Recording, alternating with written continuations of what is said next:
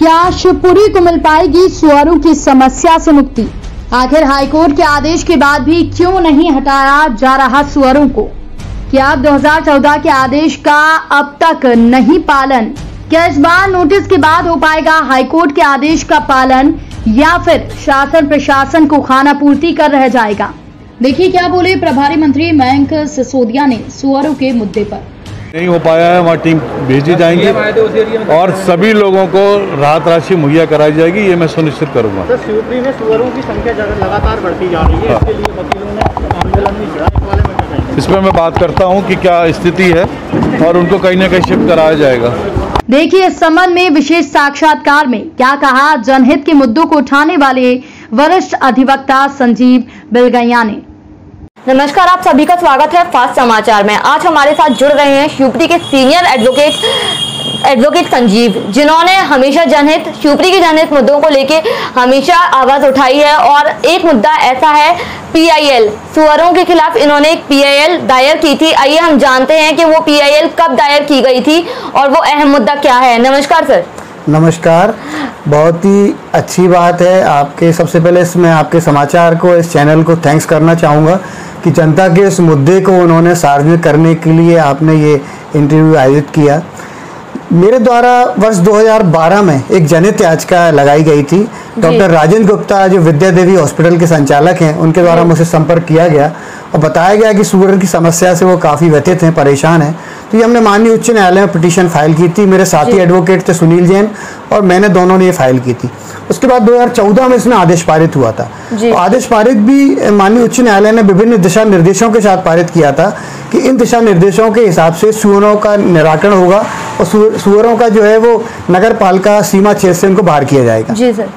माननीय उच्च न्यायालय ने उसमें वर्णित किया था स्पेसिफिक अंकित किया था कि दो माह के भीतर सुअरों को उनके नगर पालिका सीमा क्षेत्र से कलेक्टर और जो उसके सी सीएमओ हैं जिनको पार्टी बनाया गया था वो उसको दो माह की समय अवधि में संबंधित क्षेत्र से बाहर करेंगे।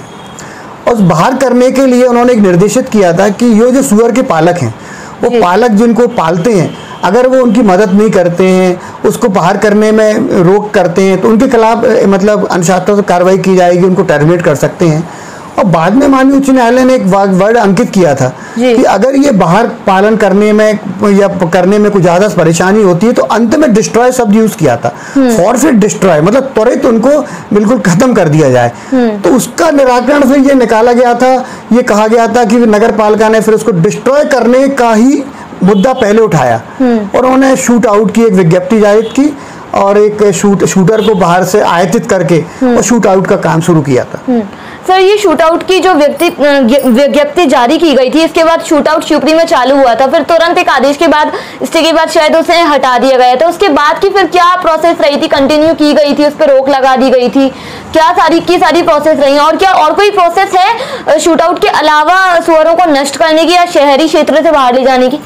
असल में क्या है कि शूट आउट के संबंध में माननीय उच्चतम न्यायालय द्वारा पशुओं के ऊपर अत्याचार को लेकर कई न्याय दृष्टांत पारित किए गए तो जब ये शूट आउट किया गया नगर पालिका की तरफ़ से उसके बाद ये मुहिम कुछ दिनों चली।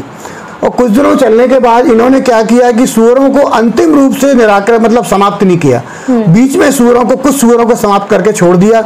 उससे क्या हुआ? सुअरों की संख्या फिर दिन निरंतर बढ़ के पूर्व से भी ज़्यादा हो गई। हम्म।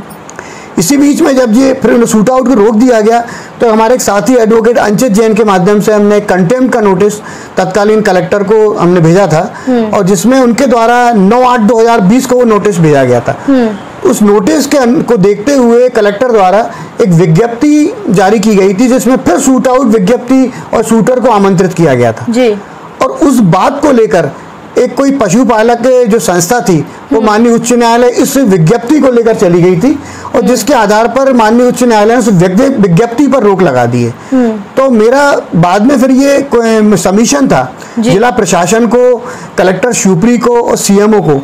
और इस बात को लेकर मैंने कंटेम्प का नोटिस इशू किया था कि माननीय उच्च न्यायालय ने जो भी निर्देश पारित किए हैं उस निर्देश में उन्होंने शूट आउट के अलावा और वैकल्पिक व्यवस्थाएँ जो सुअरों को हटाने के लिए रखी है उन व्यवस्थाओं को देखते हुए अगर जिला प्रशासन माननीय उच्च न्यायालय के आदेश का अनुपालन करे मतलब उनको शिवपुरी शहर की नगरपालिका सीमा से बाहर किया जाना है।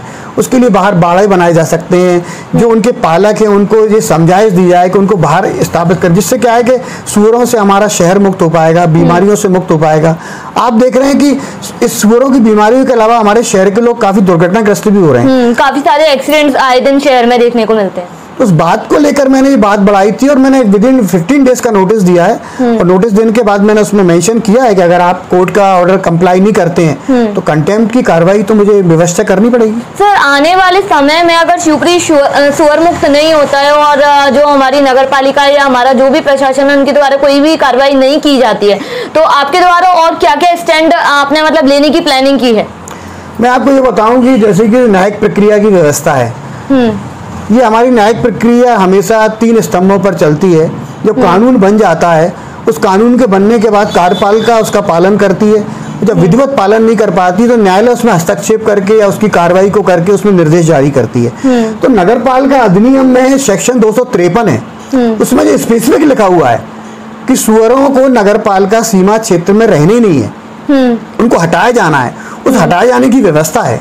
और जब उस दो सौ तिरपन के अधिनियम का पालन नहीं हुआ तब व्यवस्था किसी व्यक्ति द्वारा न्यायालय में जाके न्यायिक कार्रवाई को जारी किया। तो जब न्यायालय ने जो दिशा निर्देश जारी किए हैं और पीआईएल जिसको हम बोलते हैं जनहित याचिका पब्लिक इंटरेस्ट लिटिगेशन उसमें जो भी आदेश पारित हो जाता है वो स्वयं पारित होने के बाद उसके जो भी संबंधित जो भी उसके अधिकारी हैं या प्रशासनिक व्यवस्था के कार्यपालिका के अधिकारी हैं उन पर बाध्यकारी हो जाता है। हम्म, मतलब वो वैलिड हो जाता है कि उनको करना ही करनी है उनका पालन उनको करना ही है। अगर उनका पालन नहीं कर रहे हैं तो वो निरंतर माननीय न्यायालय की अवमानना कर रहे हैं। अवहेलना कर रहे हैं बिल्कुल।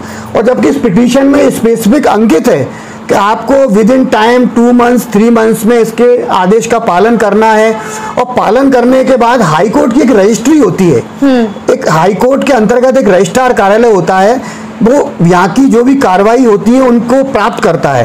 तो माननीय उच्च न्यायालय ने इस पिटिशन में अंकित किया था कि कलेक्टर शिवपुरी और सीएमओ शिवपुरी जो भी कार्रवाई करेंगे वो रजिस्ट्रार ऑफ़िस को रजिस्ट्री को बताएँगे क्या किया। तो ये बात फैक्ट है कि 2014 के बाद एक क्षणिक प्रयास तो हुआ। और लेकिन कारगर नहीं हुए वो बिल्कुल कारगर नहीं हुआ और क्षणिक प्रयास जो हुआ वो बिल्कुल आखिरी प्रयास हुआ। मतलब उस प्रयास के लिए तो उच्च न्यायालय ने आखिरी बात लिखी थी।